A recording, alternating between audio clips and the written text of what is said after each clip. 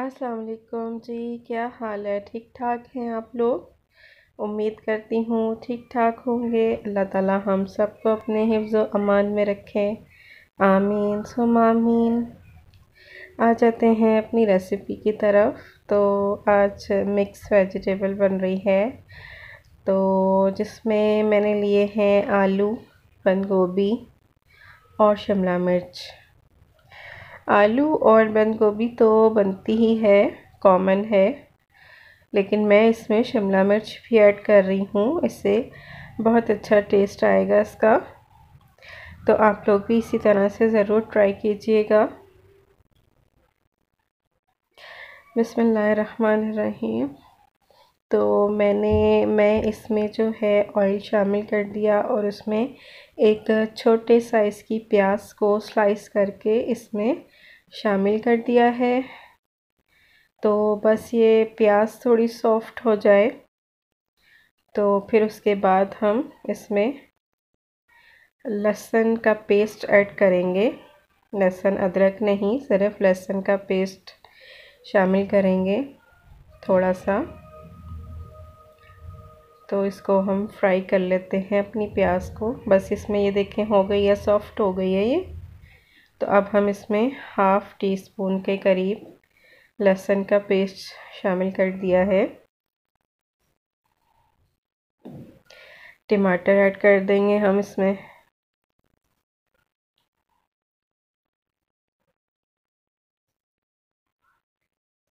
बस ये टमाटर थोड़े सॉफ्ट हो जाए।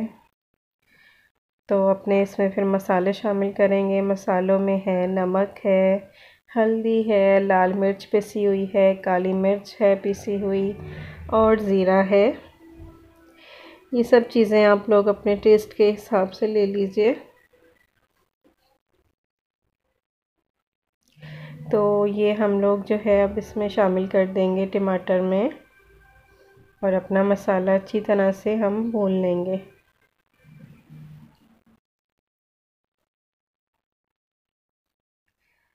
तो ये देखिए टमाटर जो है सॉफ्ट हो चुके हैं। अब जो है, हम इसमें आलू शामिल करके उसको भी जो है, हम मसाले के साथ थोड़ा सा भून लेंगे। आलू शामिल कर रही हूँ अब मैं। आप लोग जल्दी से लाइक के बटन पर क्लिक कर दीजिए। नए हैं तो सब्सक्राइब कर दीजिए बेल बटन के साथ।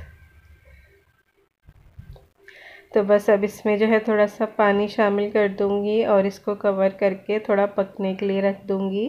जब ये थोड़े से कुक हो जाएँगे आलू तो फिर हम अपनी बाकी वेजिटेबल्स इसमें शामिल कर देंगे। तो बस ये तकरीबन कुक हो चुके हैं। सेवेंटी परसेंट अब हम इसमें अपनी ये बंद गोभी और शिमला मिर्च शामिल कर देंगे और जो है, पकने के लिए रख देंगे।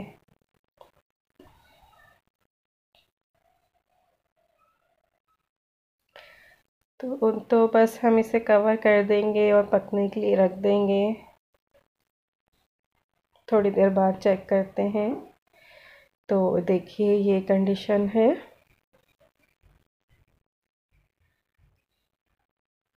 बिल्कुल थोड़ा सा इसमें है पानी, बिल्कुल थोड़ा सा। अब हम जो है इसमें वन पिंच मैं इसमें गरम मसाला पिसा हुआ शामिल करी हूँ, सिर्फ़ वन पिंच और हरा धनिया, हरी मिर्च शामिल करके मैं दम पे रखूँगी, एक से दो मिनट फिर डिश आउट कर लूँगी। तो फिर दिखाती हूँ आपको इसका फ़ाइनल लुक तो जी, ये देखिए, ये है इसका फ़ाइनल लुक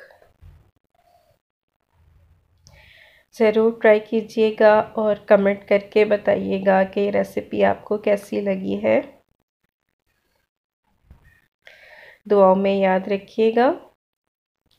और मुझे दीजिए इजाज़त. अल्लाह हाफिज़.